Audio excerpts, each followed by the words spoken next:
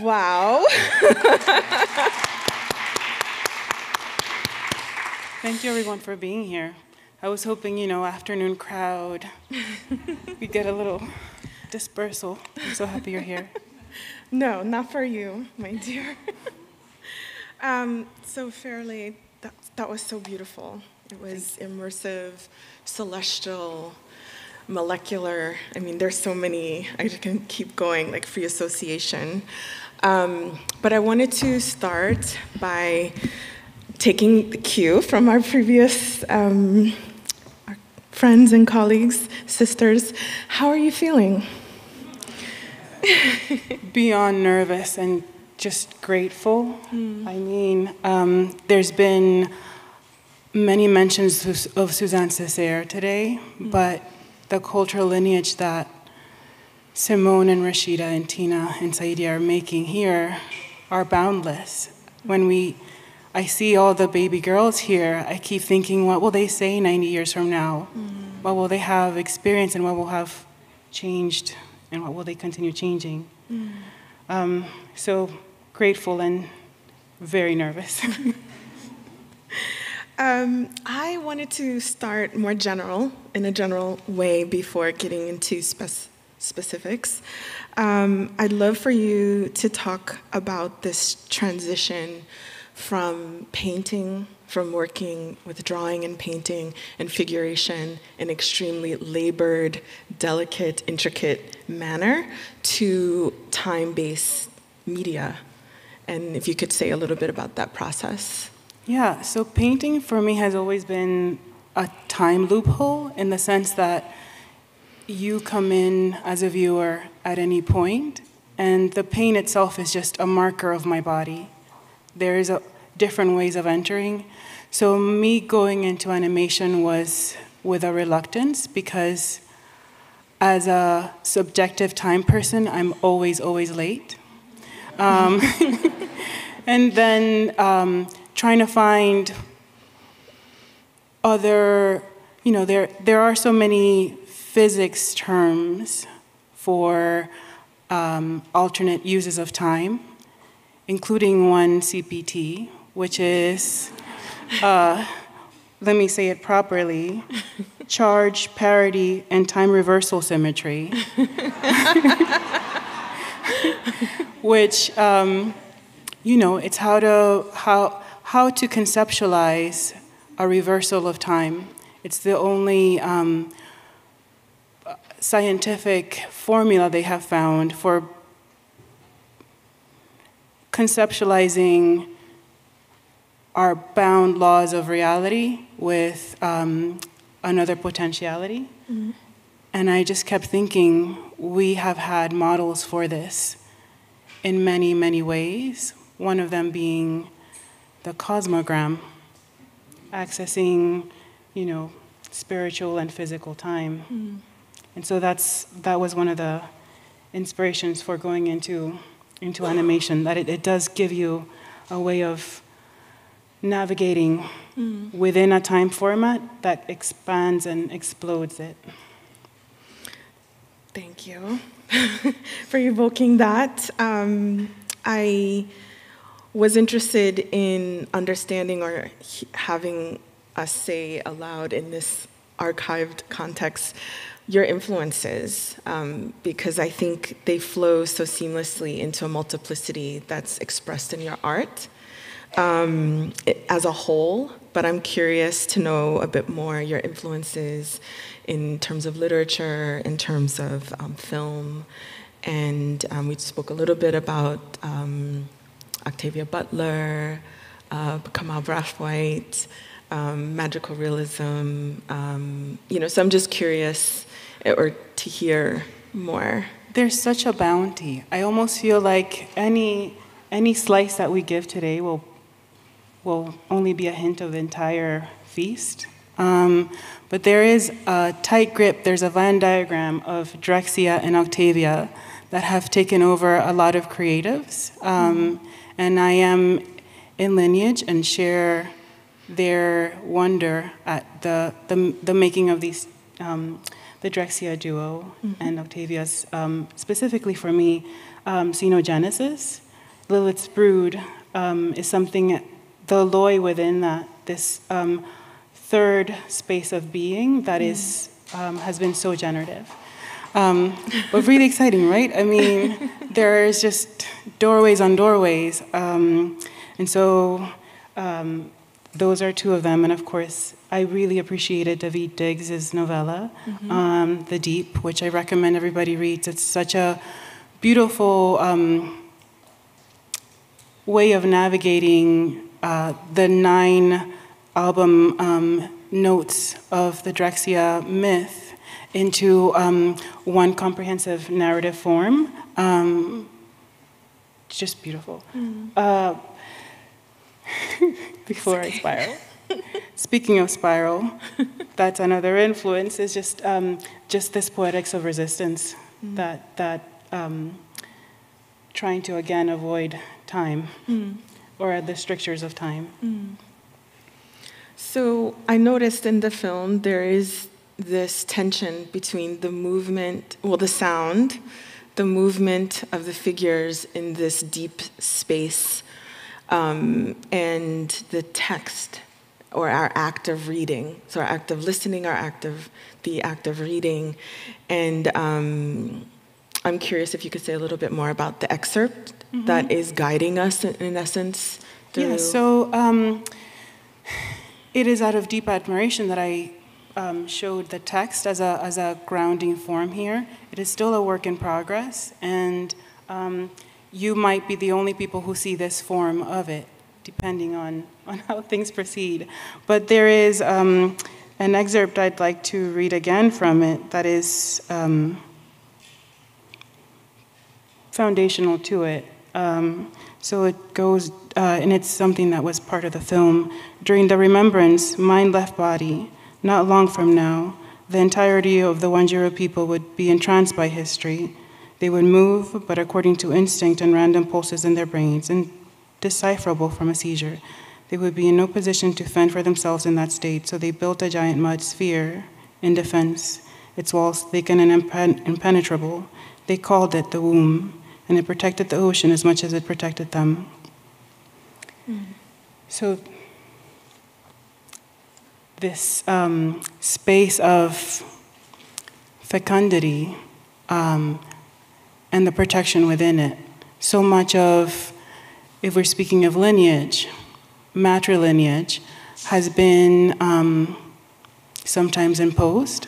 I am so honored to be within such strong matrilineal lines, and I'm just also trying to honor the people who did not have a choice in that and whose very reproduction became the means of capitalism. Um, how do you resist? How do you resist both? Mm. Or, or willingly embrace what is truly yours mm. while being in resistance? How do we love when we're in battle? You know. Mm. So there's so many motifs. I mean, in your work beyond this animation as well, but was so strong to me this um, sensation of immersion or submersion.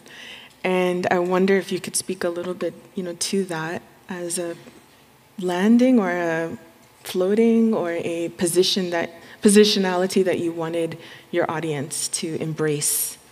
Um, yeah, I mean, as someone who was born in an island and raised in a peninsula, I don't know how to swim. So, but I've never been afraid of water, and I always, um, I know, for instance, no matter where I live, I've had a pretty nomadic upbringing.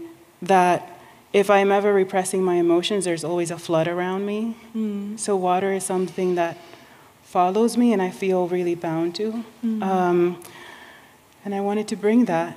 Um, part of um, it's, it's pretty amazing how part of both um, in the ideation of Octavia's novels, especially um, the Earthseed series, and in Drexciya, it goes from being deeply internal to the earth to being ultimately in space. Mm-hmm. Um, so this submersion being in both, mm-hmm. being something that binds both. Mm.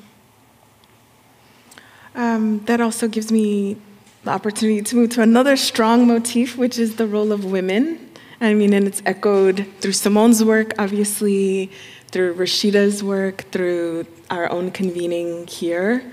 Um, so I wonder if you could speak about the role of women in your in your work in general, um, and also the connection to water.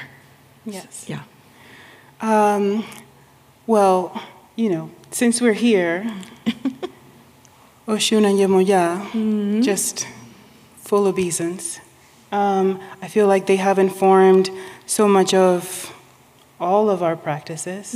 Um, I remember even Simone mentioning a flood that happened in her house and mentioning Mami Wata, that these are um, ideas and technologies and energies. If I mean, it's kind of base to even call it a technology because it transcends. But within the language of science, there is a label of what is again useful. And to um, go back to Madeline, how do you quantify what has not been contained and, and assigned as uh, useful? But these um, ideologies that transcend all of that, that have helped us and continue to um, guide our navigation, um, are, are the crucial foundation to it. Yeah. Thank you. Um, sound, too, is, I mean, I think what's so masterful, I think, in this short, it's only five minutes, but it feels so long. It's almost, it's so immersive and beautiful, haunting, but also grounding, too. It's like you, you the combination structurally, you kind of hit it right on its um, peak. And the sound moves us too. So there's the text that grounds in a way, there's also these figures so elegant, so graceful. Um, and then the sound that is so, like the bass was there. It Thank was you. so intense. So I'm curious, say more. Yeah, so um, I actually worked with another meta fan of the Drexciya duo. He actually um, worked in Berlin and had been able to experience it, for, like, you know, performances firsthand. Um, Rob Walker. And one of the grounding, um, I guess, guiding points for the composition that I always wanted to bring is that fourth beat um, to try to just get to the heart, to the water, um, and then to lift certain notes so you felt the breath. And um, those are s- specific core notes that bring everything back up. Um, I'm always working with music. When to paint, I need music, and I wanted to bring that um, space into the viewing. It was really important. The part of the title of the piece is Calabi-Yau, which I, I had to bring up. Um, but it's this manifold model that is used um, for, specifically now, for string theory to ideate different um, modes of string theory. Um, and it was the original title of one of the tracks from um, uh, one of the DJs of Drexciya. Uh, so trying to have this um, as a, at least in theory, the, the theory that's being hailed being the guiding point for, or the connector between the sound. So you said fourth note, Fourth beat. fourth beat. Okay, thanks for the correction. Hey, hey. Um, so something that I want to bring up as a misreading for me, but it ends up not being a misreading because I think, in, well, you tell me. But I was when I first watched the film, the kind of um, ma- material that floats on its own, almost like coral. Um, I thought was a really interesting way to also bring in um, these other kind of um, environmental stresses that we all have to contend with in the uh, space of climate change, essentially, right? The loss of coral reef, how that affects us on land.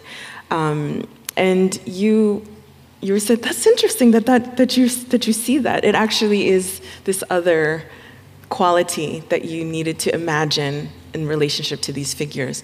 And I wonder if you could share a little bit about that.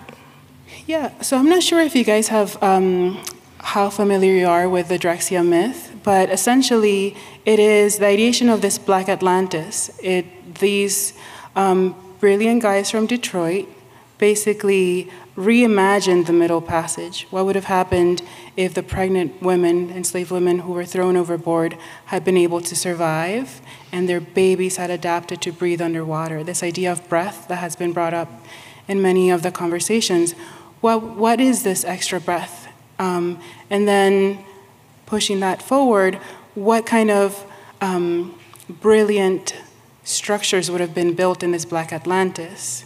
And so, if you are a water being, you wouldn't have steel and hard shelled um, structures. Mm. So, I almost imagine these anemone like extensions of lungs, ways of breathing, ways of extending breath, um, and coral reefs being the, the lungs of the ocean, right? Mm-hmm. Um, so I'm really glad you saw it that way. Mm. But this soft, um, luscious way of extending the body mm. that is not about, um, the armor is not uh, what we would expect in land. Mm. So I want to circle back to Yam, well, Yemaya and um, Oshun only because of color. Like I think that's my uh, association and how it symbols and how we recognize um, aspects of these um, deities. But the use of color in the animation, I would love to hear you speak more about that how that also is place making. I'm interested in details, so I hope that's okay for everyone. Oh no, of course. I'm like yeah. kind of want to get granular because I think those are the things. That's also a language, you know, and Absolutely. there's so much care and specificity, which also allows for it to enter us, right? So I would love to hear you say more. Yeah. Um, so I, I tend to use color symbolically. I more than I. Um, then I realized many times that the I want to embed the lexicon of the Yoruba pantheon within my color theory. So mm. much of what we were taught was Josef Albers and um, a very refracted appropriation of color theories from around the world. Mm. Um, so trying to give it back mm. and to mark it. And when I paint, a lot of times they start as horizontal fields that are, um, I have to so I have to basically traverse over the entire surface. Mm. And many times it involves salt to try to just refract and crystallize and make patterns to then read from. So all the figures emerge out of what gravity dictates, what mm. the air dictates. Um, so starting with those elements, mm. it sounds so weird to say it that way, but um, essentially um, a prayer mm. um, and hoping that through that guidance something can come through. Mm-hmm. But that's how the color mm. comes first from this acknowledgement of a pantheon and then a theory, a practice, mm. and chance. Thank you. Yes, beautiful. Yes. Um, there was also an, another detail in the film uh, this kind of kaleidoscopic or this kind of merging into the center or merging out of the center. I wonder if you could say also a little bit more about that kind of breaking with, um, I guess, the conventions of a single shot within the animation and the logic of that. Yeah, I, I think it's from, um, so if you, so these works, this film is um, based on the paintings that are now at the Biennale. I'm very grateful to have been involved in another project with a very strong female um, Suzanne Césaire esque lineage. We're in this cultural bond. It's the most, um, along with this historic moment, the only time you've had this many women in history in one exhibition. Um, so I am just giddy that I get to be in these spaces by these strong women who are just showing how not only space has been created, but will continue to generate and refract and hopefully recalibrate what we're going through. Um, time. With that, thank you. Yes, thank you. Thank you.